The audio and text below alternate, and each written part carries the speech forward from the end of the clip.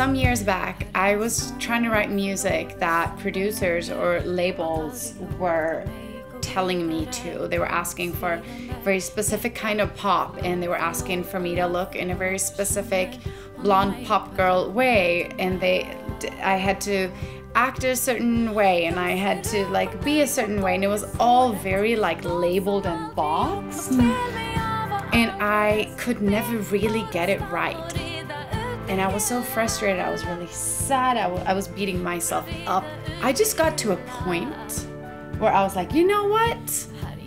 F this. I'm done. I'm gonna do it my way and I am going to give myself permission to create whatever I want to create.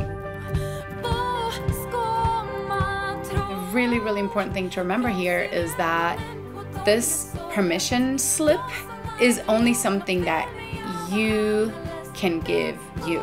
It's from yourself to yourself.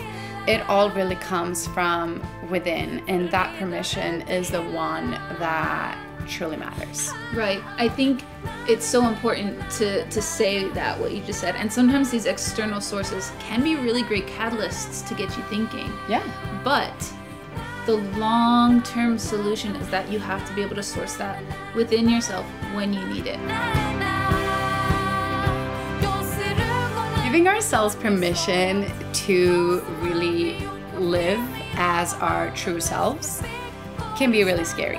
And I happen to know it because I've done it. Mm-hmm. Lauren happens to know it because she's done it. So if you feel that way, you are not alone. right. But here's the thing what is even scarier than that? Mm-hmm. Tell me. You want to know? I want to know.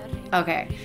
Even much, much scarier than that is living your whole life not really exploring who we really are, mm-hmm. not really living expressed as the people that we truly are. And if we don't find the permission to do it, we might just never do it. Yeah. And that's why we need to do it now. That's a really good point. Even though it's scary.